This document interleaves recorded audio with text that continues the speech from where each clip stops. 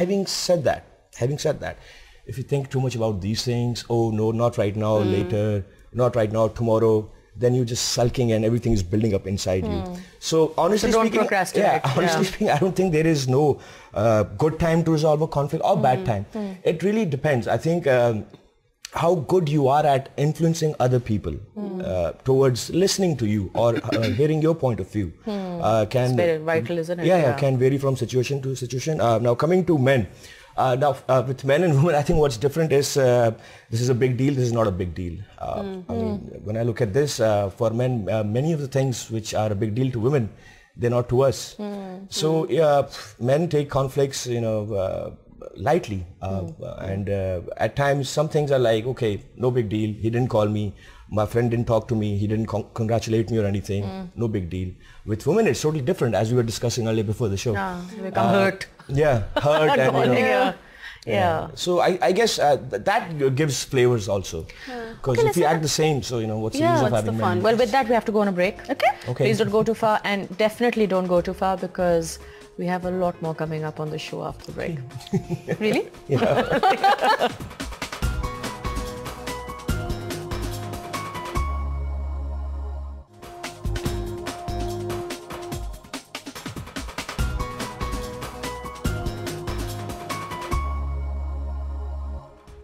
Welcome back from the break. Thank you so much for staying on the show with us. We have Sumair Abro and we have Asma Mustafa in the studio with us today.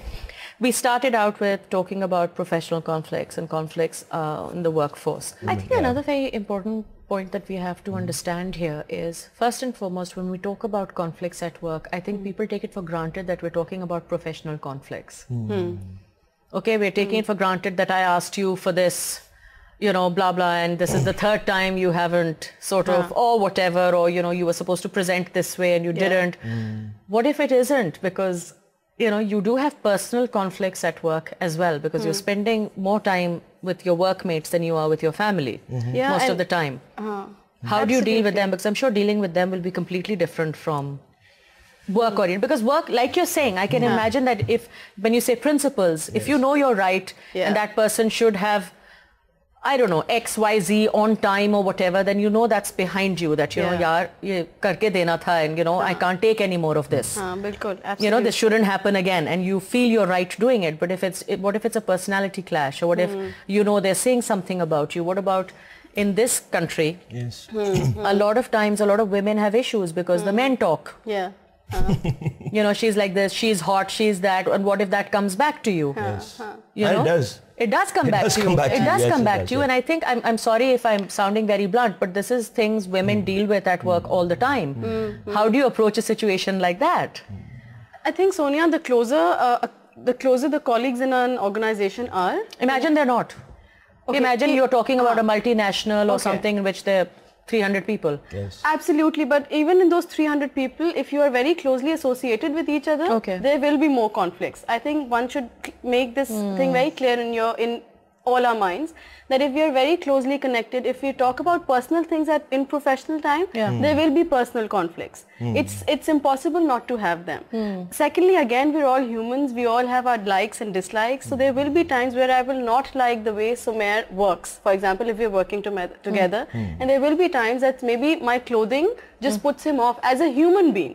Again, these are all personal things. You can't say, okay, nine to five, I'm going to put my values or you know things I like, dislike in a separate zone. box because Yeah. it's my professional zone. Because then again, you tell people that you have to, oh, be nice to people, you know, be human to people, respect them. Hmm. So these are all things that you do hopefully in your hmm. personal life also. So when you have that combination, you will have that combination in conflicts also. Hmm. So if that appears to you, again, uh, if you see subordinates that you're not or colleagues, and if you feel you're not being comfortable with them for X, Y, Z reasons, hmm. I think it's always good, especially if you're talking about a multinational with 300 people, it's always good to draw or a lot of the state companies Asma. Or a lot of the You know, state because there- I companies. mean, there's hundreds of them. It's always good to draw your lines. You should always know your limits. That okay, uh, in a professional environment, even though I'm I talk about this person about my personal issues. In a professional environment, what are the things that I can have a no-go. disagreement Oh, with, yeah, and what yeah. are the things that are no-go No-go areas? areas, And yeah. you, because you've highlighted women, I think it's uh, recently I've uh, had an interaction with an organization. Uh, which has evolved very hmm. soon from a very state culture to a hmm. very corporate culture. Hmm. So all the old people were the old, uh, you know, the oldies that we've always had, and the new people joining the organization have a modern or rather liberal approach towards life. So there was one girl whose whose clothing was a little different, and she came up to me and she said, you know, I'm facing a huge problem because all these men don't understand that you know this is my brought up, this is the way I've grown up, and this is what I prefer. So the simple thing is if you can't if you're at that level where you cannot go and communicate it to them hmm. ignore it. You should know your own limits. And if you don't allow people to come and nudge you nudge you on that they will not. Hmm. But yes if you give them open arms and if you allow them to come into your territory and comment on xyz things which are not important in a professional environment they will not have they will you know they wouldn't do that. It's never what you're saying how it's saying always also. it's Yeah. always your demeanor, your body language, which will communicate what you want to be communicated in a professional environment. So, May, what do you say?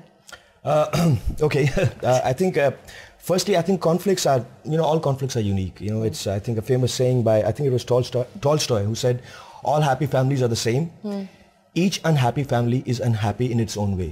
So every conflict is unique." Uh, secondly, uh, coming to the you know organizational conflicts, uh, I remember the story, you know, personal story. Uh, one of my bosses, when I used to get into an argument with him, and you know, he used to say, uh, "Sumair, do you drive a car?" He, I said, "Yeah." And he used to say, so when you're driving a car, would you go and hit a bus at times? I said, no. He said, because I'm the bus here. So if you hit me, it will be your loss. Uh, same goes for organizations. Uh, you know, there's this famous uh, win-win situation. I think we totally misunderstand the win-win situation because win-win also means that at times, uh, because of the position, someone who's senior than me, who has more authority, uh, if I, uh, you know, argue with him, and just because I'm angry or I'm right, I won't get anywhere. So the idea is that you know don't hit the bus directly, maybe Yeah. overtake it, honk, or you know be nice to the bus. Maybe the bus will let you you know go in front, yeah, pa- time. give you the way. So it really depends from situation to situation. And uh, uh, as far as cultures are uh, concerned, organizational cultures, uh, I think all organizations are evolving. Uh, so conflicts, I think, are essential part of life. Uh, because people thrive in conflicts. Uh, I agree with that. Yes, yeah. uh, because yeah. they're, they're challenges. They're challenges. And when you're challenged and if you do your best, uh, you can uh, do a lot, uh, you know, a lot of stuff with your life. Yeah. Yeah. And I think a lot of times crises are the moments where you actually get to know your own potential. Absolutely. You Yeah. never thought you were capable of managing a certain scenario or you know dealing with Till it. then. But it's only in the crisis that you get to know your true worth. Yeah. Now, if I can sort of progress and come to relationships as in friendships, uh, where do you think the conflict lies amongst friends? I, I don't usually have issues with my friends because I'm very open. Uh-huh. You know, like like you're saying, like if I have an issue, then I'll just say, "Bhai, nahi acha laga," ya, you know. I can't pent up and you know. So I think that makes life much easier. I think um, here the female-male perspective would be it would be great to know because as you said, you know, you'll open up. I think Yeah. I'm the same, and I've seen a lot of women dealing with conflicts in a similar situ uh, in a similar with a similar behavior that you, they would just go up and open up and communicate. A lot of times, what is नहीं, ये painful नहीं is करती। नहीं करती अच्छा अरे even if मुझे they do दस दिन Sonia, से मैं देख रही हूँ फोन नहीं किया हाँ, that too. I think what dif- differs in the in the kind of I'm not going relationship out with you, you know. That's what I'm saying. I think it differs with the kind of relationships. Yeah. But a lot of times when they do, uh, the men, if you're especially dealing uh, in a conflicting situation with the man on the other side, and if you see that it doesn't really make any difference to the other person whether you stated what was bothering